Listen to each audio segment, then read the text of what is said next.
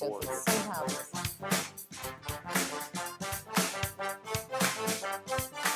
Welcome to the Voices in Leadership series, which focuses on science and leadership.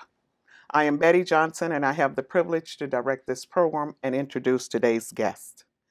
Gina McCarthy is an environmental health and air quality expert who is a thought leader and advocate for common sense strategies to protect public health and the environment. Appointed by President Obama in 2009 as Assistant Administrator for the Environmental Protection Agency, Office of Air and Radiation, she was named EPA Administrator in 2013. A longtime public servant, she has advised five Massachusetts governors on environmental affairs. She previously served as Commissioner of the Connecticut Department of Environmental Protection, Deputy Secretary of the Massachusetts Office of Commonwealth Development, and Undersecretary for Policy for the Massachusetts Executive Office of Environmental Affairs. Of her many contributions, Ms. McCarthy considers the start of the Regional Greenhouse Gas Initiative, the first cap and trade program for greenhouse gas emissions in the U.S., to be one of her major environmental achievements. A native of Boston, Ms. McCarthy graduated from the University of Massachusetts Boston with a Bachelor of Arts in Social Anthropology. She also earned a Master of Science in Environmental Health Engineering and Planning and Policy from Tufts University. She is currently a Menschel Senior Leadership Fellow and is teaching a course in the Harvard Chan School's Department of Environmental Health. She is also an Institute of Politics Fellow at the Harvard Kennedy School. It's been a joy to have her in our Senior Fellows Office suite. With my Texas inflection and the Kentucky twain of Governor Steve Beshear, who is also a senior fellow, it's been a bit of a friendly competition to see who has the best regional accent. and she certainly has done Boston proud. Before I turn this session over to today's interviewer, Dr. Howard Koh, Harvey V. Fineberg Professor of the Practice of Public Health Leadership, please join me as we welcome Ms. Gina McCarthy to the Voices in Leadership series at the Harvard T.H. Chan School of Public Health.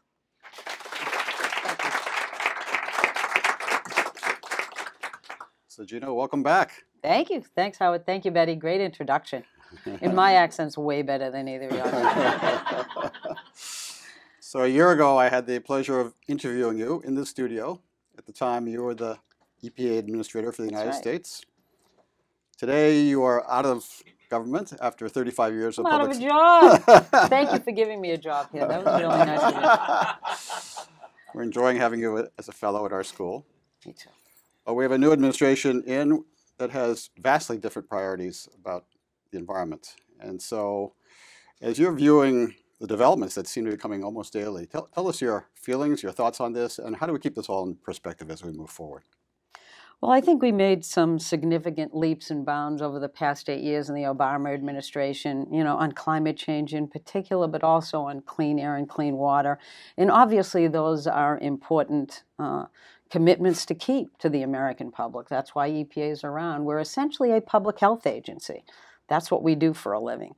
And so I'm, I'm uh, understandably upset about the idea that EPA's role could be so significantly diminished and that there is continued talk and commitment to roll back some of the progress we made um, towards clean air and clean water as well as climate change.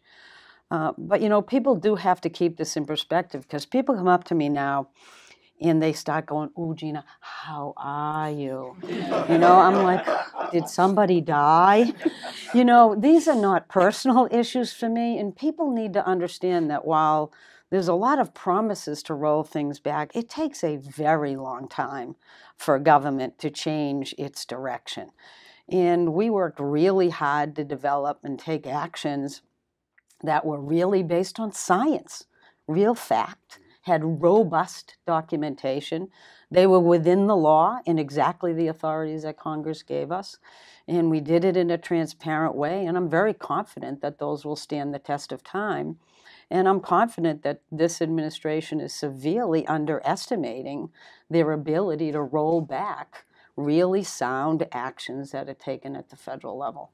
So I want people to take a little bit of a deep breath while you have concerns.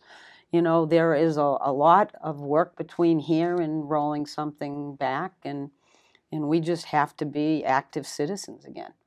We have to make clean air and clean water a known priority and, and speak our mind about what the core values of this country are and what we want in terms of U.S. leadership moving forward. Let's talk more about science. This past weekend was the March for Science in some 500 cities across the world. You, you were a speaker at one of the marches. I was. What's your message today for scientists and what's their role in uh, the current climate? Well, it's, it's a confusing place for scientists. I think one, one uh, one that's making scientists feel a little bit un- uncomfortable. And one of the reasons why I'm so excited to be here is that it gives me exposure to all of the young scientists of tomorrow. It's just quite an amazing thing. If there's anything that can balance out what you hear in Washington these days, it's looking at their faces and realizing that the next generation is hopefully uh, going to keep moving forward and making the kind of directional changes that we need following this administration. Um, they're so committed, so young, so bright. It's, pretty awesome. It makes me feel so old every day.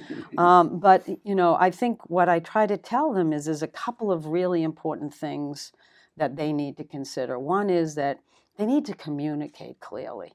The words of science don't translate to the normal human beings who aren't in the business of science.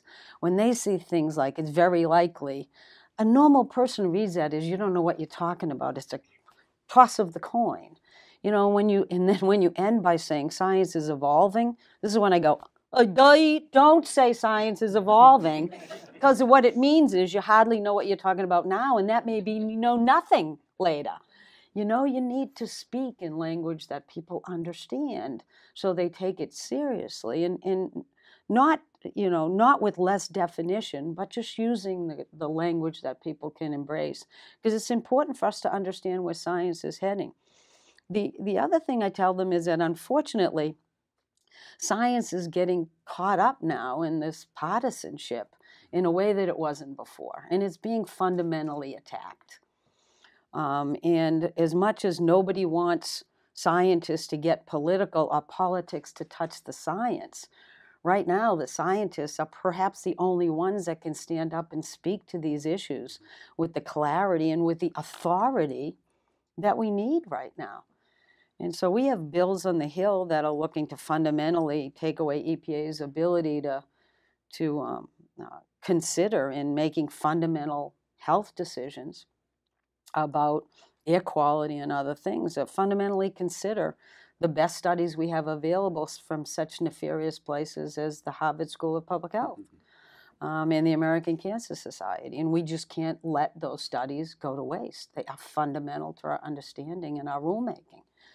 Um, and they're also trying to change our peer review process. But most importantly, they're just questioning the ability of science as a whole to be invested in and its necessity and what it's brought to our country and what it needs to continue to bring in terms of advancing our health and well-being. It's unbelievable the kind of science investments that they're looking to disinvest in wholeheartedly. It doesn't make any sense. One major development of your time in office was of course the 2015 paris climate agreements yeah. which was a I put on a lot of mileage in that convention yeah, we want to hear more about that. And uh, that involved some 195 countries Yeah, that signed, and many of them ratified this, this treaty, which is now in force. And now, in the era of the new administration, lots of questions about what's going to happen with that. Can Yeah. you tell us more about your thoughts on that? Well, you know, I have been going to conferences of the parties um, related to these climate discussions for so long. And I'll tell you, Paris had an entirely different complexion about it. And it's uh, and what we came out with in Paris was an incredible agreement. Um, it was strong. It produced accountability. Um, it would follow the science. It would have the countries working together. It would support every country, including developing countries who are looking to identify a path forward for themselves to bring their population out of poverty while doing it in a way that would be consistent with a low carbon future. And that was a result of a couple of things, Howard. One was amazingly, is that we have solutions now to really start forcing carbon out of our future. We have renewable energy and energy efficiency that's knocking the socks off of fossil energy here in the United States and elsewhere. So we have things we can do now. So you can make those commitments. And it was apparent that people felt like it was no longer trying to admit to a really bad problem where we didn't have any answers. We have some. So the flavor, the tone was fine. Plus, I have to tout President Obama and his leadership even before going into Paris. One of the reasons why President Obama really committed across the United States to take climate action, and in particular at EPA, was to show our strong domestic commitment. It was to get things done here that would give us the creds even before Paris to work with China so that he could work with his counterpart and, and set a fertile ground for really good work to be done. And he did that. We did not go in there as we had in the past, hoping for the best. We came in there with a plan, and that plan was quite remarkable. And for the first time now, you have an international agreement that's solid, that's foundational, that can allow countries to work together. And honestly, the the uh, the excitement leaving there I was on a plane unintentionally. Everybody ended up on the same plane. I don't know if there was only one plane for everybody to be on. They probably said all the stupid U- U.S. people have to go on this plane. Everybody else goes somewhere else. But but we were on this plane. I'm telling you, we were flying 1,500 miles above wherever that plane was. it was just exciting, and so it it set the stage for for innovation and investment to follow. One of the things we recognize is that we know we can make progress and we're going to lock that in. But it also said we have a lot of work to do. And if we don't start now to send the right signal internationally on what we value internationally, what we have to do to keep this planet safe for our kids' future, then we're making a mistake because we're not going to drive investment that we need in innovation. And that was the big promise of both the actions we took in the US and internationally was that today we would tell people what we wanted the future to look like. How we could get there would be up to the private sector, innovators like in this university and others that had the best and brightest ideas because they take time to mature. And those ideas would be the next bunch of solutions so we could get the next tranche of reductions instead of holding off denying climate science because they don't know all the answers. And so it was exciting and it is, it is fundamental that the US continue to provide leadership there, both by staying in the Paris Agreement and by meeting our commitments, but also by taking advantage of the economic opportunities that leadership provides. That's what we do for a living in the United States. Mhm. What the heck's the matter with everybody? Why would we want to run away and cede our leadership to China? So tell us more about the private sector role and the leadership of Yeah. the future of energy, where the trends are going. Well, let me talk about a, couple of leadership, Howard. Thank you for, for raising it. Business is really important right now. Uh, just not more than uh, no, uh, maybe a month or so ago, there were 750 or so companies, really large companies, who wrote to the president and said, stick in the Paris Agreement because it's important to us. They see the need for a low carbon future. They understand the economic risks that their companies are in, and they see the economic benefits of making this shift. And so they're stepping up big time. Fortune 500 companies are all looking at their own greenhouse gas footprint. They're all, all pricing carbon when they're making decisions about what services to provide, how to provide them, what kind of products to produce, how to manage their own facilities, how to manage their operations. It's a big deal. They're accounting for it. And they don't expect that they'll have a federal government that's going to be sitting in the wings waiting to see what happens or actively working against what the future needs to look like. And so they're, they're, they're big time. But the other leadership is states and federal and, and uh, cities. Because I know everybody's worried that if the, if the U.S. doesn't continue to lead, which it doesn't seem to be at the moment, clearly, will anything happen? You know, I, I worked for, for state government, sorry about that, uh, for, um, I don't know, 25 years or more. And I'll tell you, whenever the federal government wanted to sit and take a break, the, the states and the cities and the towns, they stepped up because they don't let that happen. They'll fill that void every time. That's what the Regional Greenhouse Gas Initiative was. If, if the um, President Bush didn't feel like moving forward, then that we could do it, and we did. Yeah, tell us more about Reggie, the regional greenhouse Reggie was a blast. Uh, Reggie was a blast because it get out, got all the frustrations of not having federal action, and it actually allowed all the great people at EPA, 15,000 great people at EPA, to actually use all of their technical skills to help us do something that wasn't happening at the And federal what was your role at the time? I, I began this discussion when I was uh, working in Massachusetts in the Environmental Agency, and and it actually passed when I was in Connecticut as the commissioner of the Department of Environmental Protection. It was a, a plan by the New England states, um, mid couple of the Mid Atlantic, New York, New Jersey. Um, we all got together and decided that we would test out a cap and trade program that looked at um, our utilities in, in our various states and set caps for them to uh, achieve certain levels of carbon pollution. What years? What oh year was my that? lord! I knew you were going to ask me that, and I have absolutely no idea. The Little while ago. discussions began in um, oh I don't know 23 2002 2003, and I think it was culminated in 2006.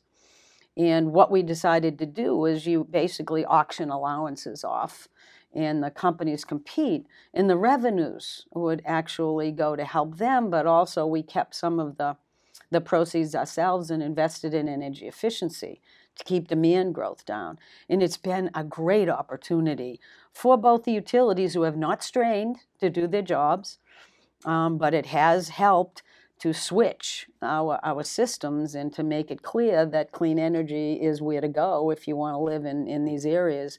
It has allowed us to grow jobs in solar and wind, benefited from those energy efficiencies to keep costs low, keep a reliable and safe energy system, and it tested out real well. And as a result of that, there was every hope in the first part of the Obama administration that would get a national cap and trade program, but that failed by a couple of votes in the Senate side. But it's if really if the federal government doesn't want to lead, it certainly does not mean that the United States or America won't lead. Are there other parts of the country that might follow these themes like Reggie Well, has? I've heard that California does okay. Uh, I know. Just kidding, friends from California. Uh, they, they actually developed uh, for California a, um, a, sec, a multi-sector approach to doing exactly the same thing, which was setting goals on different industry sectors. And it's a, um, a law that we affectionately refer to as AB 32. Um, and it's great, been a great mechanism to help achieve reductions um, in, uh, in California in terms of greenhouse gases they're, that they're emitting. But it's also been a great, um, uh, basically, uh, effort on their part to also coordinate it with other absolutely critical environmental goals be, that are consistent and related to climate change, which is things like clean air. You know, it allows you to get co benefits from reductions of greenhouse gases and get those uh, other pollutants out of the system. And it's helped them to begin to figure out how to tackle some of the water problems that they face during the drought and how you begin to look more systemically at the challenge of climate change and use proceeds from that type of a process to actually support adaptation efforts and equity issues associated with climate, which are, which are really important. So it's been great. So California's been great. Having said that, there's a lot of other activities that have gone on across the states. There's work in the Midwest, there's work in the Western states. A lot of that work was done as we were designing the, the, the Clean Power Plan, which is now being relooked at by this administration.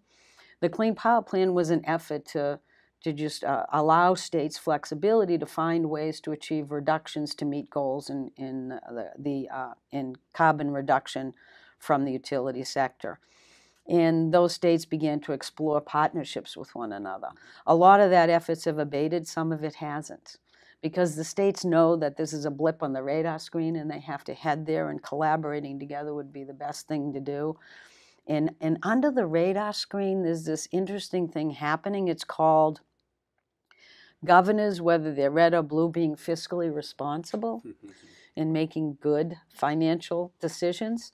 Um, it's called buying renewable energy and investing in energy efficiency because, uh, you know, it's just not all about the rules, it's about what makes sense to do. And because we've done so well to lower the cost of renewable energy, that it's so competitive, that you're finding that the, the highest percentage of renewable energy of any state is in Ohio. Go hang out in Texas and see if you can turn your head without looking at a wind turbine. You know, so it doesn't matter if you're red or blue, you go where you, it's best for your consumers. And right now, the clean energy train in this country's left the station and it's not going back. And so this this administration should be embracing that train. It should be in the, you know, in the engine, not the caboose. You know, making sure that we lead this because it's happening all over the world, and it's it's fun to watch, but it's depressing to see that we might cede that leadership. So you're a person who's worked for both Republican and Democratic leaders.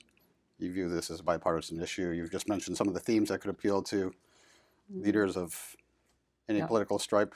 Yep. What other comments do you want to make on how to make this a bipartisan issue going forward? Well, you know, I kind of try to remind everybody that environmental protection for for decades has been a bipartisan issue.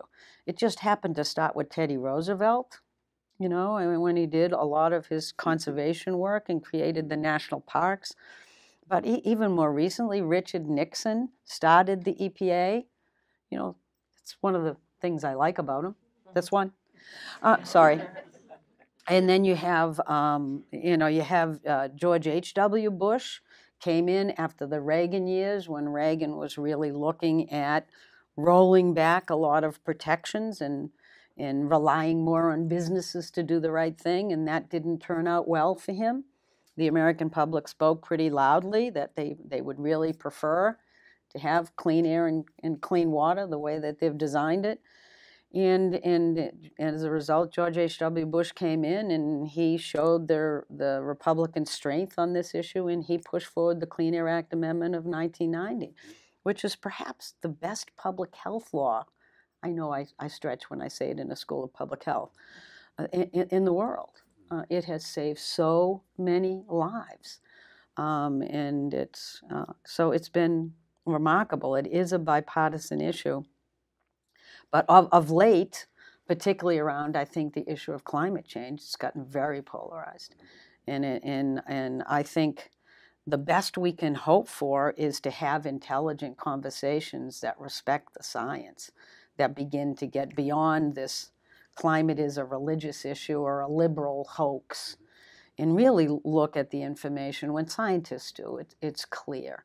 And if they can help speak to to individuals to get them to get uh, uh, stop looking at sound bites and start really getting concerned about an issue that really threatens not just our current public health but the future of the planet it's kind of a big risk uh, to, to sit and not take action but uh, beyond that I'll, I'll be darned if i know how to what the magic bullet is to bring it back together again i'd like to think i did but in my opinion, it's a lot of grassroots discussion. It's a lot of individuals talking to their family, if you can tolerate it. I do once in a while.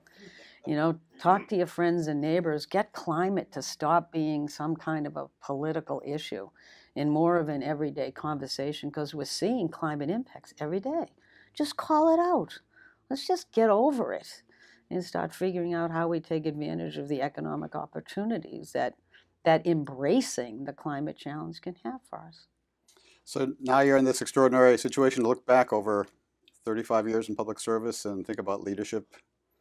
What, what lessons do you focus on that you convey to the students while you're teaching here?